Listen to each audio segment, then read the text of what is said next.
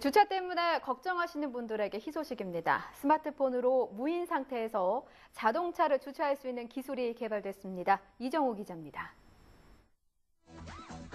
주차장에 차를 대기 위해 앞뒤로 왔다 갔다를 반복해보고 앞쪽으로도 주차를 시도해보지만 여성 운전자는 결국 주차를 포기합니다. 여성은 물론 노약자와 장애인들의 부담이 되는 주차. 앞으로는 이런 주차 걱정을 덜 수 있게 됐습니다. 스마트폰으로 언제 어디서나 내 자동차를 주차시키고 또 불러올 수 있는 무인 발렛 주차 기술이 개발됐기 때문입니다. 한국전자통신연구원이 스마트폰을 이용해 자동차를 무인으로 주차시키고 다시 부를 수 있는 기술 개발에 성공했습니다. 카메라 센서를 위주로 사용을 하기 때문에 저희가 사람이 보는 것과 또 비- 동일한 눈이 되어서 카메라가 주행 상황을 인지하고 주차를 하는 그런 기술이 되겠습니다. 시간에 쫓기거나 공원과 같은 큰 공간에서 자동차가 빈 주차 공간을 찾아 정확히 주차한 뒤 사용자의 스마트폰에 주차된 위치와 주변 영상을 전송해 줍니다.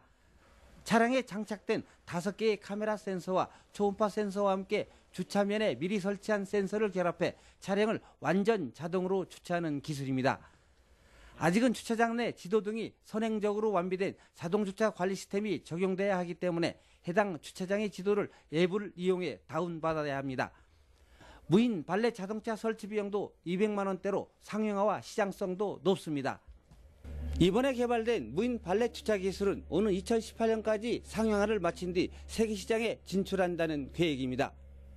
이 기술을 적용하면 연간 18조 원에 달하는 교통사고 사회적 비용과 연간 7만 5천 리터의 휘발유 전략 효과도 볼 수 있다는 계산입니다. 발렛 주차를 구현할 수 있다는 것은 아직 세계적으로도 어, 굉장히 희귀하거나 드문 기술로 말씀드릴 수 있기 때문에 충분히 사용화 가능하다고 생각하고 있습니다. 지능형 자동차와 도로 인프라 기반 IT 기술이 융합돼 새로운 고부가가치를 창출할 수 있는 무인 발렛 주차 기술. 시계 탄마를 통해 부르면 쏜살같이 달려오는 공상과학 영화 속의 첨단 자동차가 우리 현실로 다가오고 있습니다. YTN 이정호입니다.